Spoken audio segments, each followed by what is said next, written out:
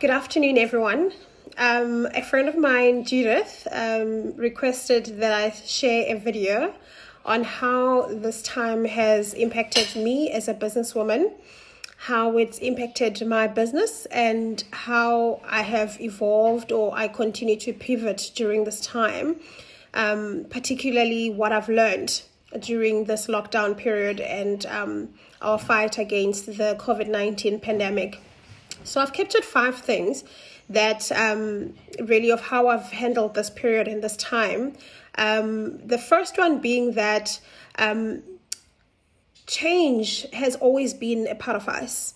Um, this kind of change obviously has been a bit of a huge shift. I can't even say a bit, it's been a huge shift um, in everything that we know from how we our children are educated, how we run businesses, um, everything just got merged together.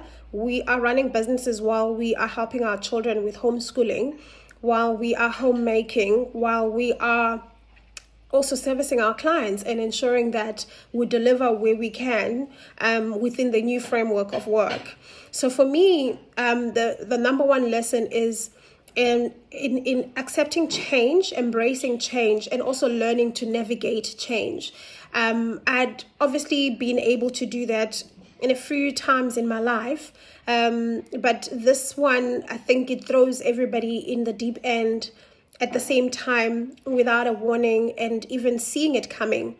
So the one thing that I've um, learned this time is worry is is such a thief of um, of, of productivity. Worry is a real waste of time and um, a waste of resources, resources such as creativity, resources such as innovation, resources such as um, reviewing, obviously, our strategies and knowing how best to work with what we have currently.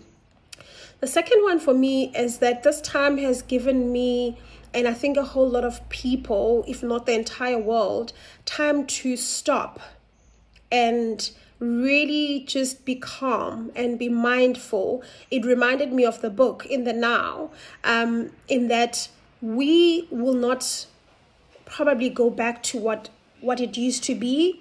Um, we don't know what the future is going to look like yes there's going to be a lot of predictions. There's a lot we can learn from the shift we are already um, experiencing now but it will never ever be the same. And what this time has done for me is that it reminded me to um, know that i have the power within me to control me to control my mind. Um, it reminded me to tap into um, the power that I have within um, the thoughts that I, I, I think they do create, um, that the thoughts that I think can be negative or positive and really to guard my mind and and keep them focused on the positive side of things so that I have the inspiration and the energy and the drive to go forward.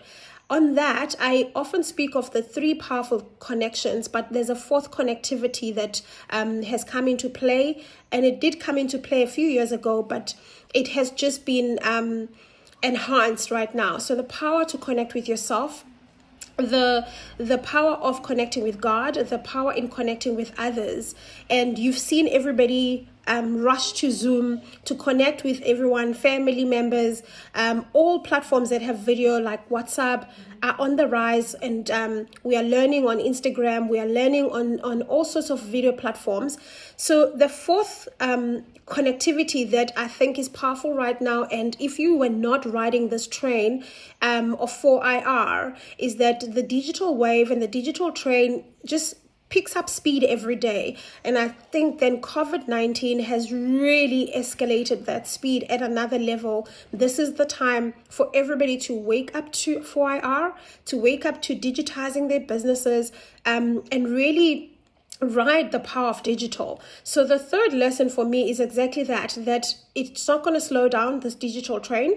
Hop on and really learn to navigate doing business, doing school, doing retail, um, in the retail in the digital space and and obviously that presents a lot of opportunities which I've taken advantages of. I've taken advantage of um, as a businesswoman in uh, marketing, communications, in coaching, I've taken advantage of that in, in learning as well and just making sure that I can access universities, um, universities that are far off, like in the UK, that are offering free education courses right now.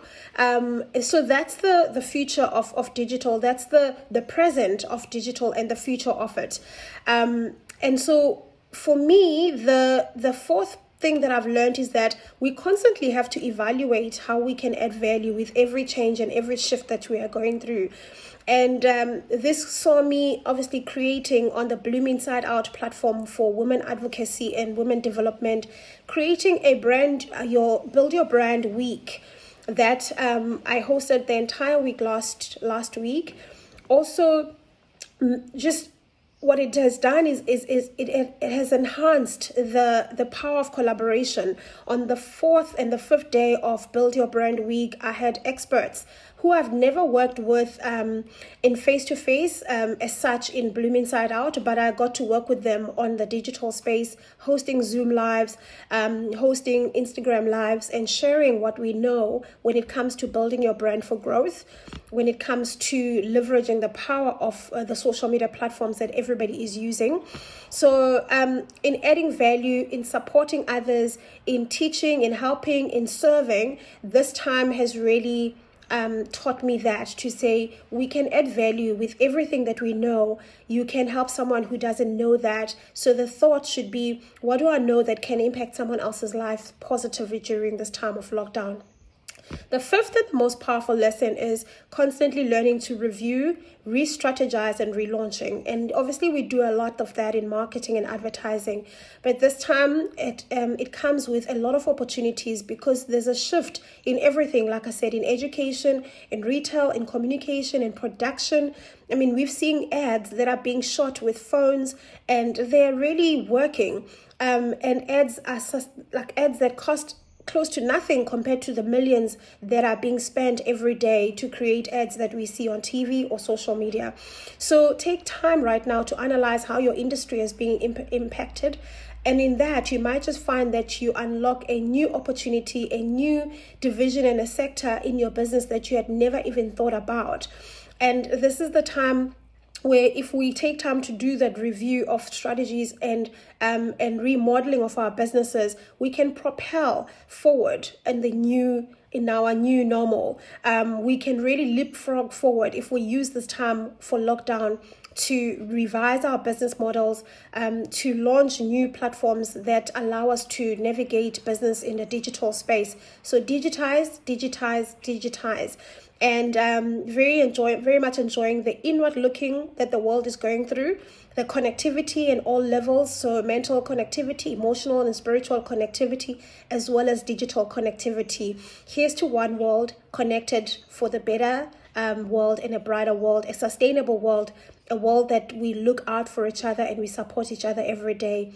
Keep blooming keep flourishing and here's to unlocking our grandest power and our grandest potential to prosper Thank you.